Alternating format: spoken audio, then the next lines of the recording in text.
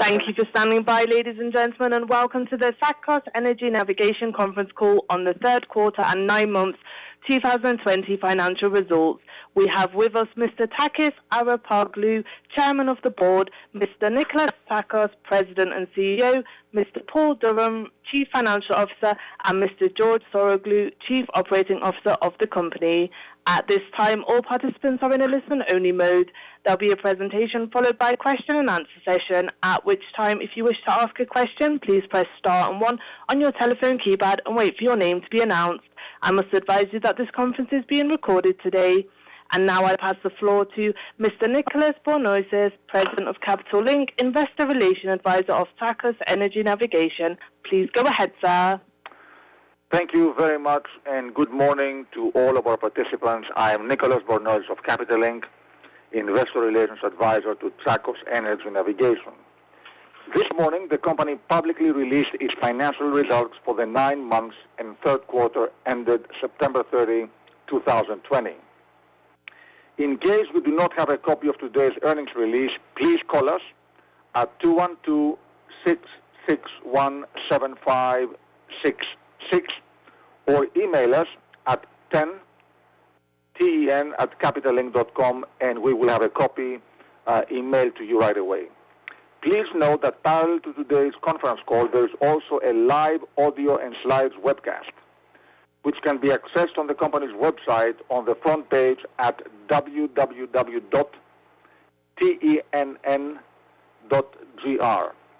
The conference call will follow the presentation slides, so please we urge you to access the presentation slides on the company's website. Please note that the slides of the webcast presentation will be available and archived on the website of the company after the conference call. Also, please note that the slides of the webcast presentation are user controlled.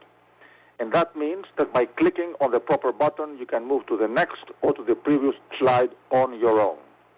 At this time, I would like to read the safe harbor statement.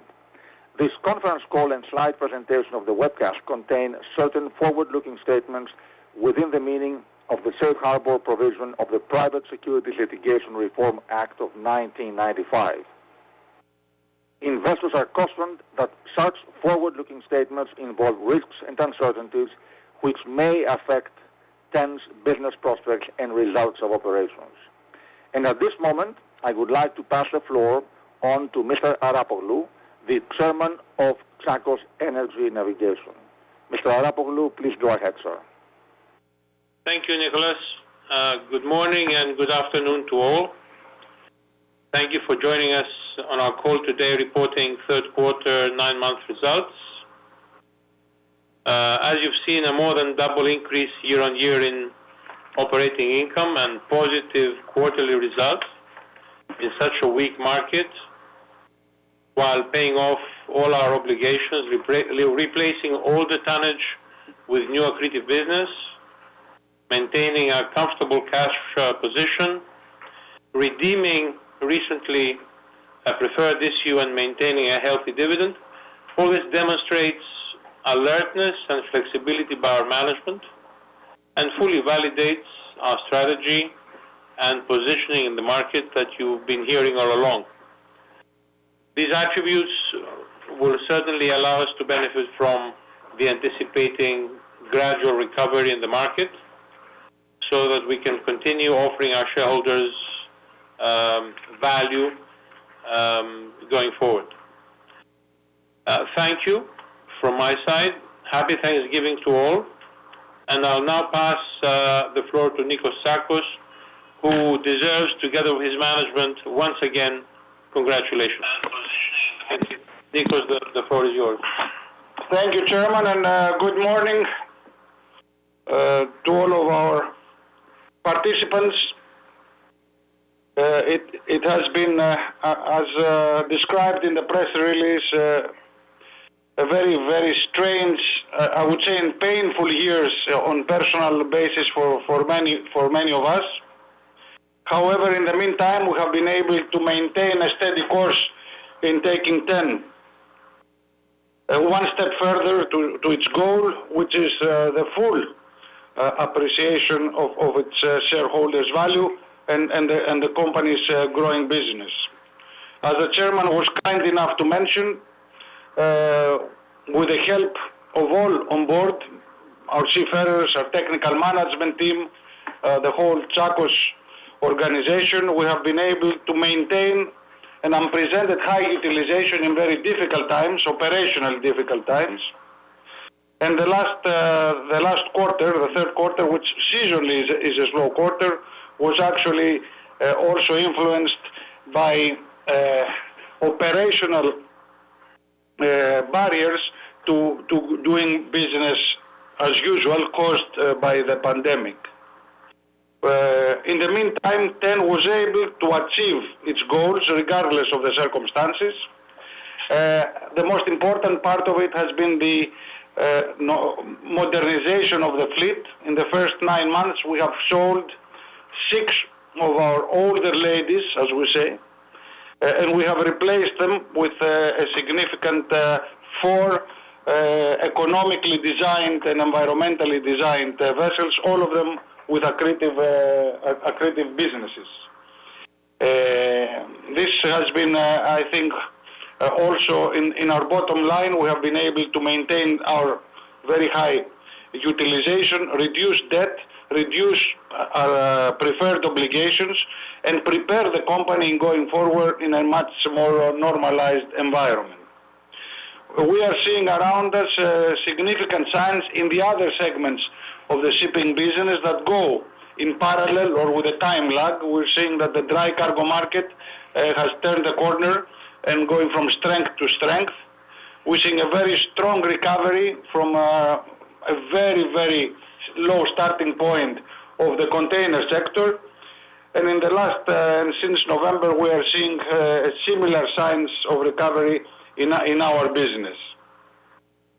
So with, with this, uh, with this uh, introduction, uh, we are looking in going forward in an environment where the supply, which is usually what hurts our business, is very, very normalized. We have the, the lowest supply in the last uh, 30 years, and also a very significant scrapping. We finally, the, the pain of the last quarter has uh, led to finally some of the older vessels being scrapped after a very long time, and we are already have seen 380 uh, tankers being scrapped, uh, a strong 7% of the tonnage out there being scrapped uh, within this year and, and growing. So this group gives us a very, very good uh, prospects uh, going forward.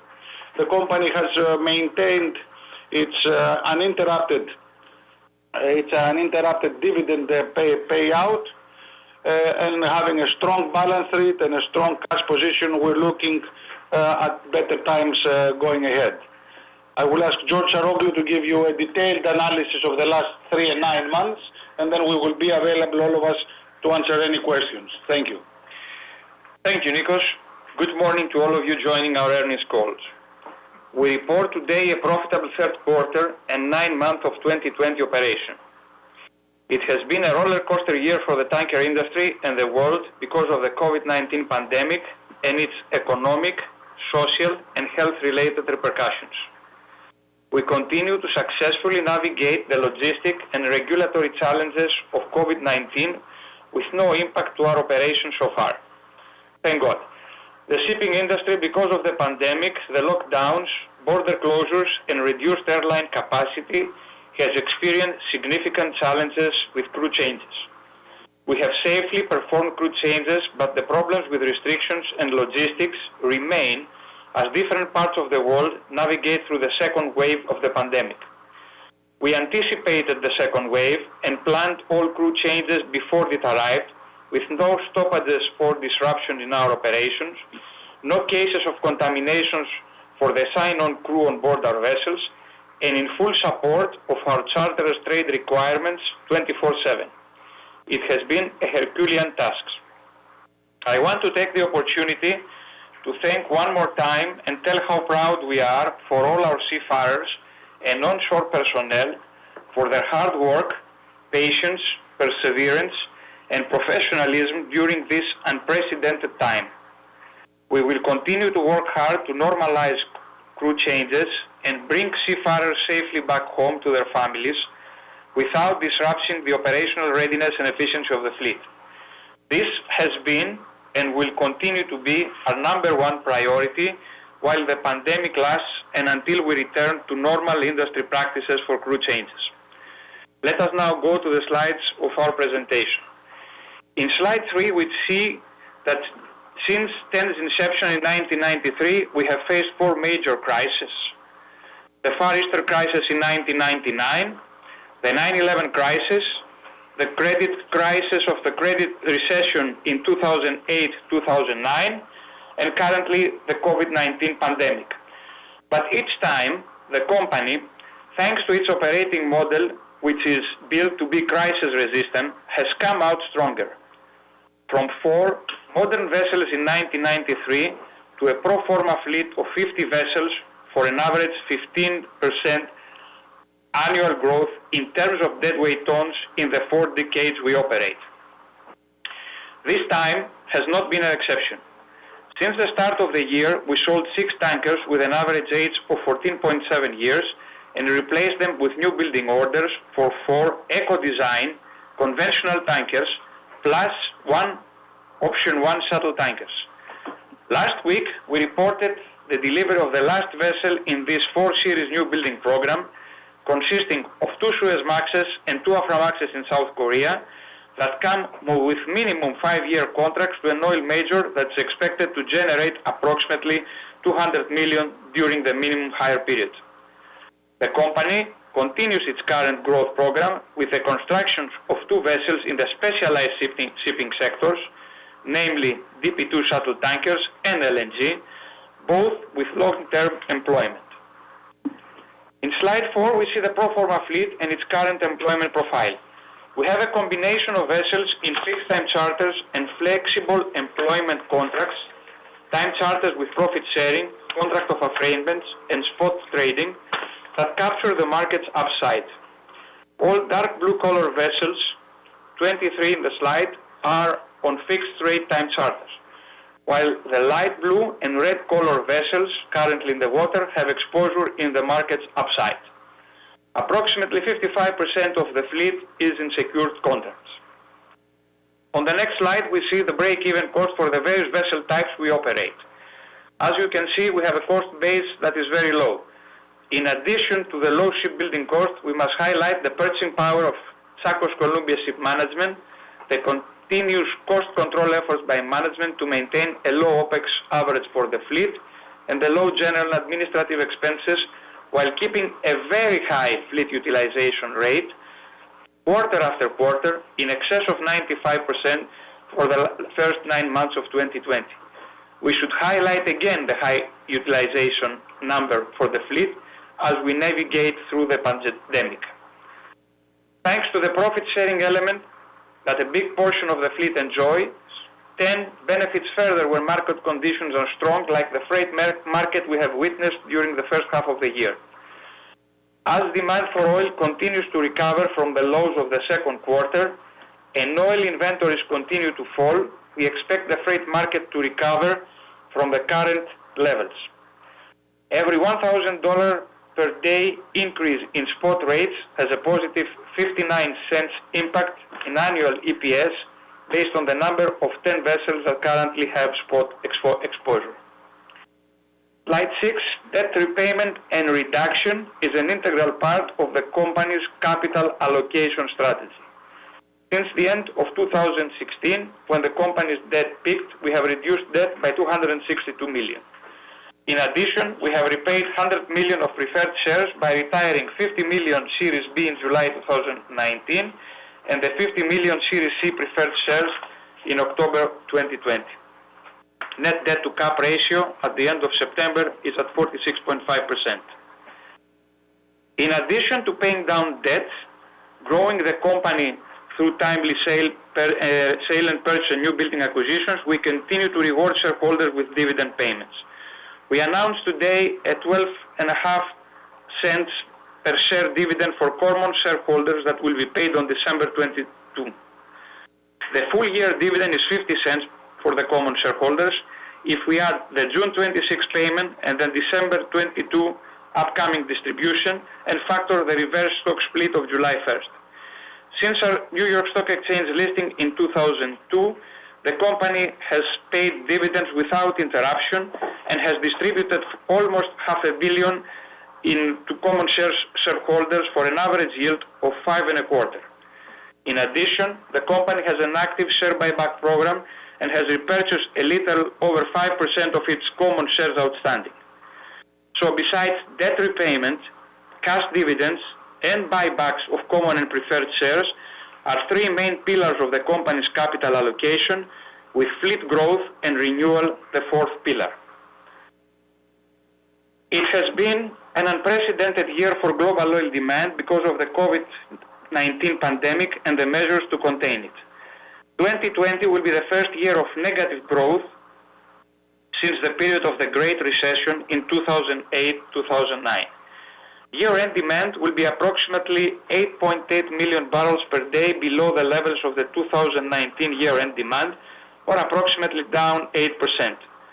Most of the losses are in jet aviation fuel. The expectations for 2021 are for oil demand to grow by 5.4 million barrels per day. Full demand recovery to the pre-COVID-19 levels is deferred to late 2021 or in 2022 subject to how well the world will manage the resurgence of the pandemic, how effective the two vaccines are and the other vaccines that are being developed, and how quickly they will be approved and distributed worldwide in order to allow the gradual return to normal social and economic life. Nearly all these massive reductions are found in OECD countries. For the non-OECD world, the International Energy Agency has raised, has raised demand estimates mainly due to improved demand expectations in China and India. Non-OECD countries continue to be the growth engine for oil demand. On the global oil supply front, OPEC Plus producers eased production cuts by 2 million barrels per day from August. There is an additional 7.7 million barrels per day, per day of shut-in production that OPEC Plus plans to gradually restore over the next 16 months compliance with these cuts continues to be very high, almost 100%. The return of Libya in the oil markets following the recent ceasefire to the civil war and the quick increase in production from 100,000 barrels per day back in August and prior to the ceasefire to a million barrels per day currently will most probably lead OPEC Plus producers in their upcoming meeting on December 1st to agree to relax production cuts by another 2 million barrels per day at the end of the first quarter of 2021. With oil inventories, especially in OECD countries, continuing to grow, the expected growth in global oil demand in 2021, together with OPEC plus further oil production increases, should be very positive for tanker demand and tanker rates. Slide number nine, with oil demand expected to grow over the next year, let us look at the forecast for the supply of tankers.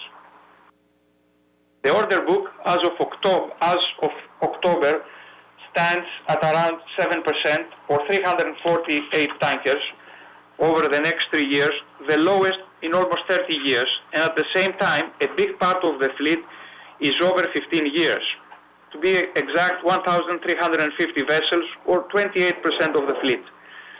360 vessels or 7.1% of the current fleet are at or above 20 years. Upcoming, environmental regulations could push more tankers approaching or above 20 years to go for scrapping. As the next slide shows, 2018 was of the high, one was 2018 was one of the highest scrapping years of records. Last year scrapping was lower as expected. The strong freight market and the pandemic has put scrapping to a standstill. But with uh, so many tankers older than 15 years, we could see a pickup in scrapping as more environmental regulation on the horizon especially create an unfavorable trading environment for those vessels approaching or currently above 20 years. To summarize, demand for oil, on the demand for oil, the recovery continues with strong growth expected in 2021, with the speed of this demand recovery related and affected by COVID-19 developments. On the supply of oil, production increases are on the horizon in 2021 by both OPEC plus producers and other non-OPEC producers. We should note that despite the fall in U.S. production, U.S. crude oil exports continue to be strong at approximately 3 million barrels per day, with, with most of these exports destined to, to long-term destinations, including Asia. Vessel supply. The order book to current fleet ratio is at historical low levels, which implies at minimum a balanced market for the next 18 to 24 months. And finally, TEN's balance sheet. We have a modern fleet, a strong balance sheet, strong cash reserves, and strong banking relationships that will allow the company to take advantage of the opportunities that will be presented. With the expectations of better days ahead, we conclude the operational part of our presentation. Paul will walk you through the financial highlights for the third quarter and the nine months. Paul? Well, thank you, George. So as expected, on top of seasonal factors, quarter three results were impacted by pandemic lockdowns, low oil demand, and the continuous draw on oil inventories globally.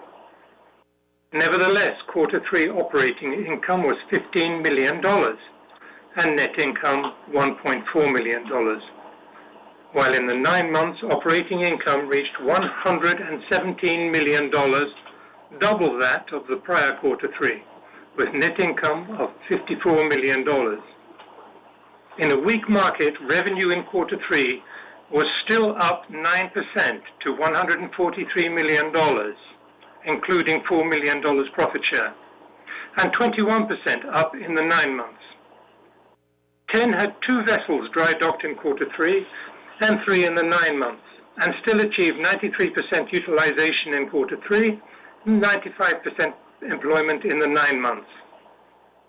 Daily TCE per vessel uh, in quarter three averaged nearly $21,000 and over $25,000 for the nine months, again exceeding average market rates.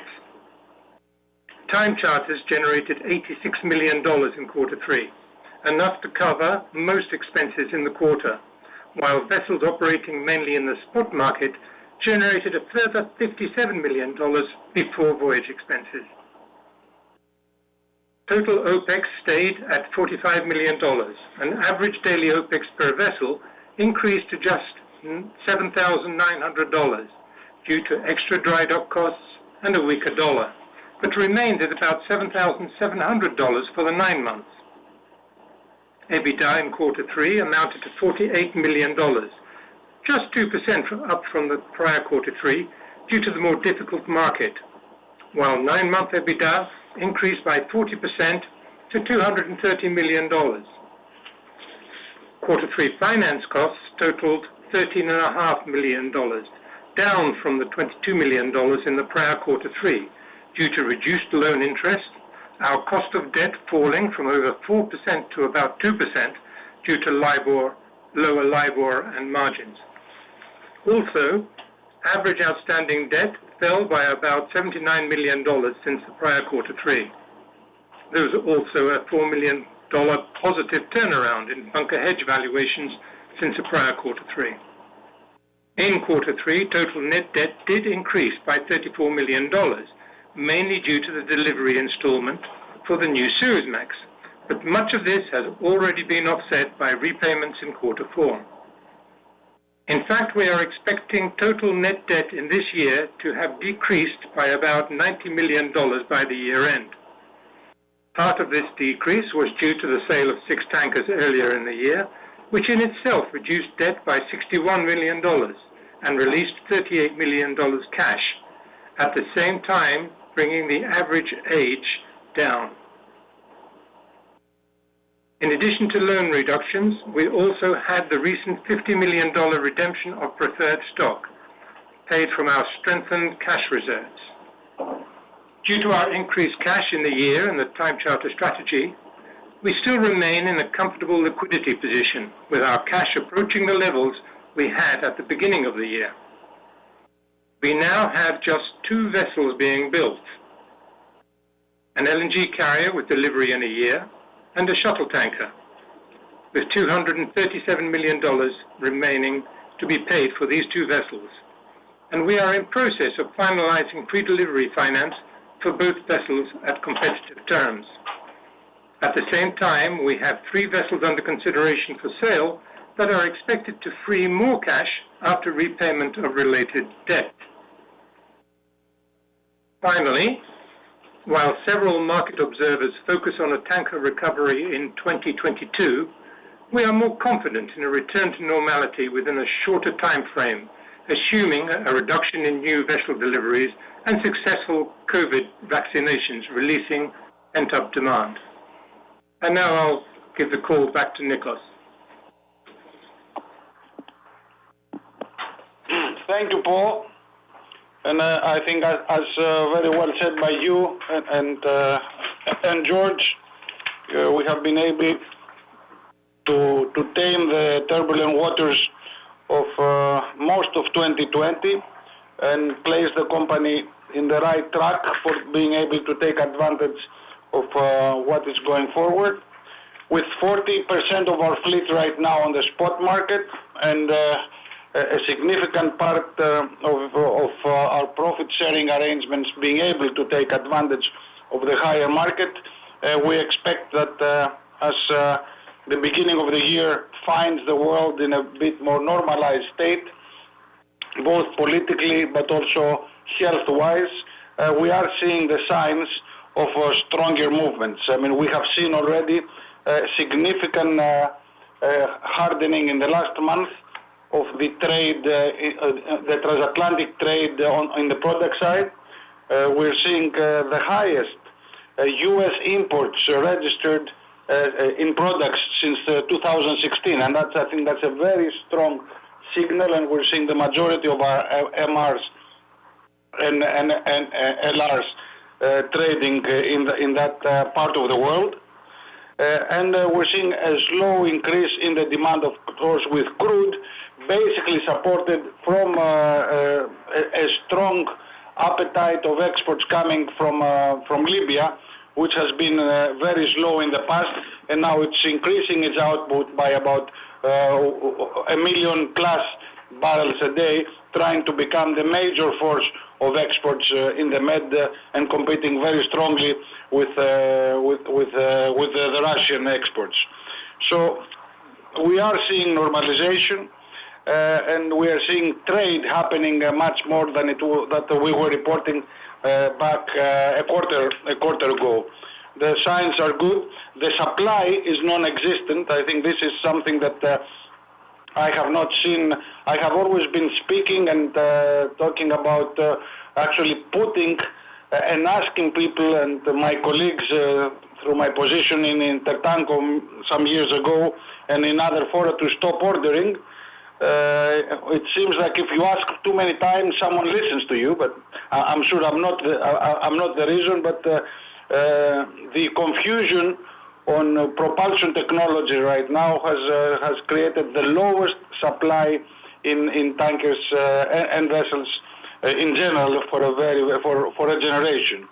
So I mean, as we speak today, we see about eight. Uh, we have a, a, fleet of 830 VLs in the water, some of them in storage, uh, of which uh, 220 are in excess of 15 years of age, and only 75 uh, vessels being built. So that's less than 9% on the VLs, and it's a very similar situation across the board as, as we speak forward. I think that will show that with the confusion of all the regulations that are coming out, uh, ship owners very rightly so are preferring to slow steam rather than find other solutions uh, in order to uh, achieve their um, the targets, their environmental targets, their emission targets that are being set as recently as last week by, by the IMO. so in general, I think I have the feeling that uh, unless something really, unless we get a, a, third severe wave, and I'm knocking on wood of, uh, of the virus uh, hitting us any time after Christmas, that uh, we are getting uh, as close of being out of the woods as possible and, and better days uh, are ahead of us. In the meantime, we have been able to successfully navigate the difficult times. And with that, I would like to open the floor for any questions. Thank you. Thank you, ladies and gentlemen. As a reminder, if you wish to ask a question, please press star and one on your telephone keypad and wait for the automated message advising your line is open. Please then state your first and last name before you ask your question. If you wish to cancel your request, please press star two. Once again, please press star one if you would like to ask a question. Thank you. We will take our first question. Please go ahead. Your line is open.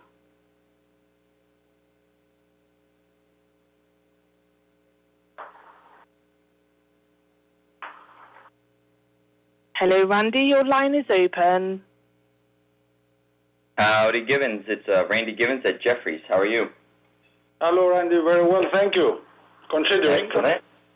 Great, great. Uh, I'm doing well. Um, so I guess a couple questions. You know, can you provide maybe a little more color on that decision to repurchase the Series C preferreds? Do you plan on continuing to, to kind of look at repurchasing other preferreds? And then also, obviously, your, your cash balance is robust. You don't really have many more new buildings. Your share price is at a steep discount to NAV. Any appetite for common share repurchases? Yes, I think uh, as uh, as I said, our, our first obligation uh, has been to repurchase uh, actually within a bit more than a year. Uh, within the last 18 months, we have uh, spent 100 million dollars of uh, of our hard-earned cash to to repurchase the two step-up uh, uh, perpetuals. So that was our Yep. obligation. As uh, as uh, George mentioned, uh, we keep on. We have bought back since May five percent of the company, which is a, it's a significant amount. So there is there is buying. Uh, we have set targets. What is buying also from uh, uh, from the common.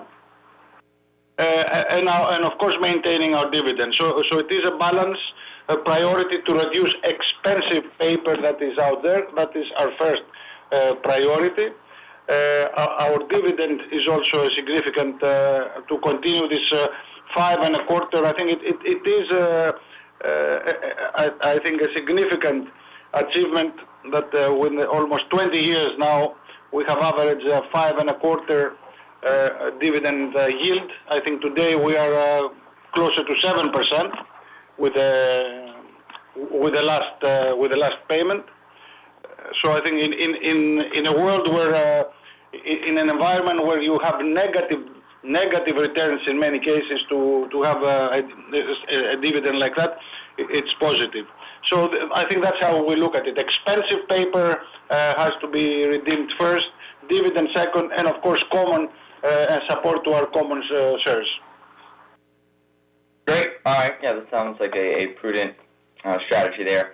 Now, looking at your fleet, um, I've heard some differing reports. So, can you just give an update on that LNG new building option? Uh, it looks like you did not exercise that for later next year.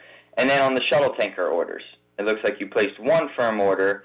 When do you have to decide on the, you know, additional two shuttle tankers?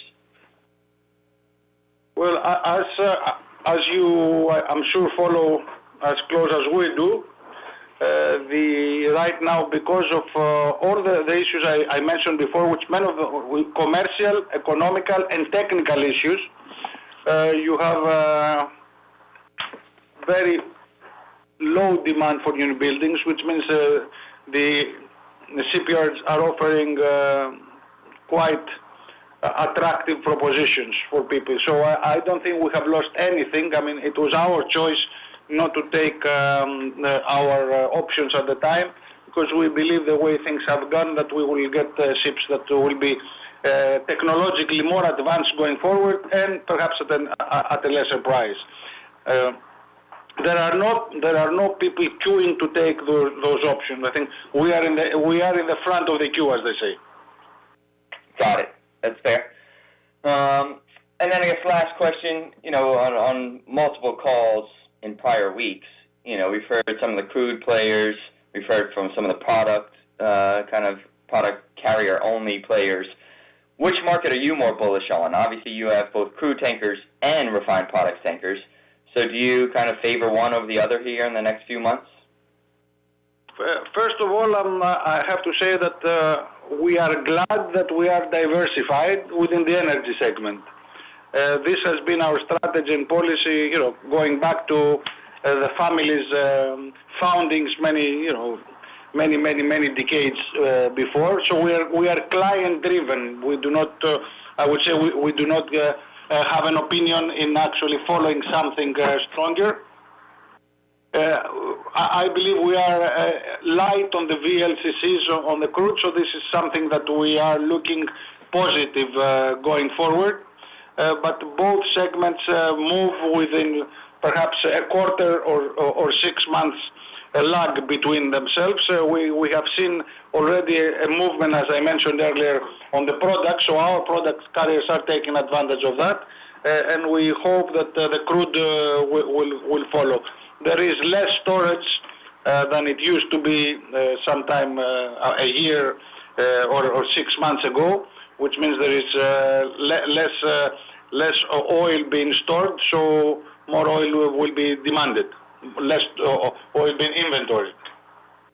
Yeah, yeah, no, that makes sense. All right, well, that's it for me. Looks like uh, the market's liking your responses today, so keep it up. Happy Thanksgiving. Thank you. Same to you.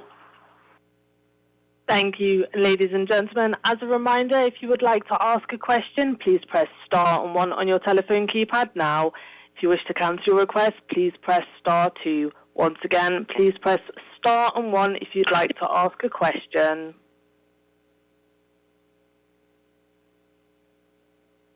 There are currently no further questions, sir. I'll hand back to you for closing remarks. Well, once again, thank you all. Um, uh, great call. Uh, unfortunately, not many questions, but then uh, the stock price uh, shows that you're all happy, and we hope that uh, our next call earlier, uh, early next year, will be even more successful than this one today. So happy Thanksgiving to everyone. Nico, would like to say closing words? Well, I hope the next presentation has not to has not. I do not have to do it through a mask, which uh, makes it a little blurry. But uh, uh, we wish everybody a very happy Thanksgiving and uh, a very safe uh, conclusion of this uh, very strange year. And as the chairman said, um, early next year, hopefully we will be able to talk about much more exciting and better things and a better and healthier visibility going forward. Thank you for your support. And as I said, I think uh, that uh, we are out uh, out of the worst part and uh, moving to better times. Thank you very much. Stay safe. Happy Thanksgiving. Bye. Thank you. That does conclude our conference for today. Thank you for participating. You may all disconnect.